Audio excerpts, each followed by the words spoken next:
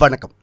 பாரத பிரதமர் நரேந்திர மோடி இரண்டாயிரத்து இருபத்தி நான்கு ஜனவரி முதல் வாரத்தில் லட்சத்தீவிற்கு பயணம் மேற்கொண்டிருந்தார்.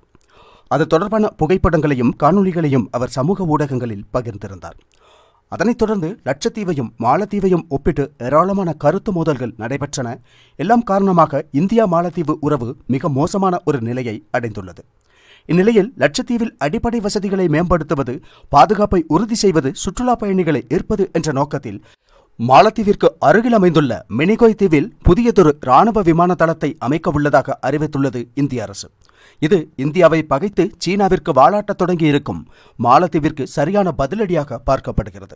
அரபிக்கடலில் தென்பகுதியில் உள்ள இந்திய பகுதியாக அறியப்படும் இந்த தீவில் ஒரு ராணுவ தளத்தை அமைக்க அரசு தீர்மானித்தது எதனால்? அதற்கு காரணமாக அமைந்த விஷயங்கள் என்னென்ன? மெனிகோய் தீவில் அமையவுள்ள ராணுவ தளத்தால் இந்தியாவிற்கு என்ன பயன்? இதுபோன்ற கேள்விகளுக்கான பதிலாக அமையவுள்ளது இந்த காணொளி. இந்தியாவின் தெற்கு பகுதியில் அமைந்துள்ள மாநிலமான கேரளாவிற்கு நேராக மேற்கு பகுதியில் அரபிக்கடலில் அமைந்துள்ள ஒரு தீவு கூட்டமாகும் லட்சத்தீவுகள். மத்திய ஆட்சி பகுதியான லட்சத்தீவில் சிறியதும் பெரியதுமான முப்பத்து ஆறு தீவுகள் உள்ளன. அவற்றுள் இரண்டாவது மிகப்பெரிய தீவாகும் இந்த மினிகோய் தீவு.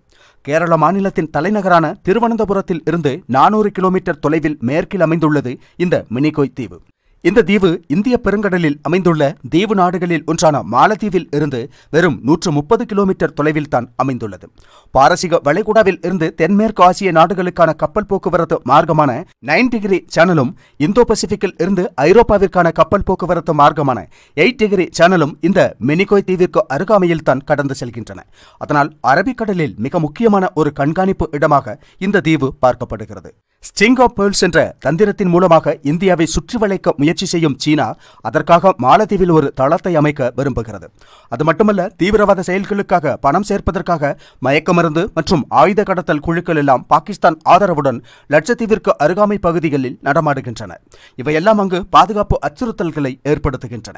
அதனால் அந்த பகுதியில் மற்ற நாடுகள் மேற்கொள்ளும் கடற்படை நகர்வுகளை கண்காணிப்பதற்காக இந்திய கடற்படை விமானப்படை கடலோர காவல்படைகளின் பயன்பாட்டிற்காகவும் அதோடு பொது போக்குவரத்திற்குமாக ஒரு விமான தளத்தை மினிகோய் தீவில் அமைக்க வேண்டும் என்று பாதுகாப்பு வல்லுநர்கள் நீண்ட காலமாக வலியுறுத்தி வருகிறார்கள். பத்து புள்ளி ஆறு கிலோமீட்டர் நீளமும் நான்கு புள்ளி எட்டு பூஜ்ஜியம் சதுர கிலோமீட்டர் பரப்பளவும் உள்ள மினிகோய் தீவின் முக்கியத்துவத்தை கருத்தில் கொண்டு அங்கு ஒரு விமான தளத்தை அமைக்க வேண்டும் என்று கடலோர காவல்படை மத்திய பாதுகாப்புத்துறையிடம் பதினைந்து ஆண்டுகளுக்கு முன்பு கோரிக்கை வைத்திருந்தது. அது குறித்து விரிவான அறிக்கையை தாக்கல் செய்திருந்தது கடலோர காவல்படை. ஆனால் சில உள்ளூர் தடைகள் மற்ற சில காரணங்களால் அன்றைய மத்திய அரசினால் அதற்கான எந்த நடவடிக்கையையும் எடுக்க முடிந்திருக்கவில்லை. ஆனால் இரண்டாயிரத்து பதினான்கில் நரேந்திர மோடி தலைமையில் அதிகாரத்திற்கு வந்த புதிய மத்திய அரசு லட்சத்தீவில் அடிப்படை வசதிகளை மேம்படுத்துவதற்காக பல்வேறு புதிய திட்டங்களை தொடங்கியது. அதோடு மெனிகோய் தீவில் விமானத்தளம் அமைக்கும் திட்டத்திற்கும் முன்னுரிமை அளிக்கப்பட்டிருந்தது. கப்பல் மற்றும் விமானம் மூலமாக மட்டுமே முக்கிய நிலப்பரப்புடன் தொடர்பு கொள்ள முடிந்த லட்சத்தீவு வாழ் மக்களின் பிரச்சனைகளுக்கு ஒரு நிரந்தர தீர்வு காணப்பட வேண்டும் என்பதாக இருந்தது பிரதமர் நரேந்திர மோடியின் எண்ணம். அந்த தீவு கூட்டத்தின் புவியியல் அமைவிடத்தின் சாதக நிலையை பயன்படுத்தி இந்தியாவின் பாதுகாப்பு திறனை அதிகரிப்பதற்கு தேவையான விமானத்தளமும் மற்ற வசதிகளும் உருவாக்கப்பட வேண்டும் என்பதாக இருந்தது பிரதமரின் நிலைப்பாடு. அதற்கான நடவடிக்கைகளை விரைந்து எடுக்குமாறு தனது முதலாம் ஆட்சி காலத்திலேயே அமைச்சகங்களுக்கும் லட்சத்தீவு ஆட்சித்துறைக்கும் உத்தரவிட்டிருந்தார் பிரதமர் மோடி. போதுமான இடம் கிடைக்கப்பெறும் என்ற அடிப்படையில் மினிகோய் தீவுதான் விமானத்தளம் அமைப்பதற்கான முதல் தேர்வாக இருந்தது. தற்போது மத்திய அமைச்சகத்தின் பாதுகாப்புத்துறை குழுவான சிசிஎஸ்இன் அனுமதிக்காக சமர்ப்பிக்கப்பட்டுள்ளது மினிகோய் தீவு விமானத்தளம் தொடர்பான திட்டம். பொது போக்குவரத்து துறை விமானங்கள் மட்டுமல்லாது விமானப்படை கடற்படை மற்றும் இந்திய கடலோர காவல் படைக்குமாக உள்ளதால் இரண்டாயிரத்து ஐநூறு மீட்டர் நீளமுள்ள ஒரு ஓடுபாதை அங்கு அமைக்கப்பட உள்ளதாக அறிய முடிகிறது. அதனால் டர்போஃபேன் என்ஜின்களை கொண்டுள்ள ராணுவ மற்றும் பொது போக்குவரத்து ராட்சச விமானங்களும் அதிவேகத்தில் தரையிறங்கவும் பறந்துயரவும் செய்யும் SU thirty MiG twenty nine உட்பட உள்ள போர் விமானங்களும் எல்லாம் இங்கு எளிதாக இறங்க முடியும். ஜம்மு காஷ்மீரின் ஸ்ரீநகர் விமான நிலையத்தின் அதே மாதிரியில் பொது விமான போக்குவரத்து துறை அமைச்சகத்துடன் இணைந்து மினிகோய் விமான நிலையத்தை இந்திய விமானப்படை கட்டுப்படுத்தும் என்ற செய்தியும் வெளிவருகிறது. அதனால் சக்திமிக்க ரடார்களும் வான் பாதுகாப்பு அமைப்புகளும் அங்கு நிறுவப்படும் என்றும் கருதப்படுகிறது.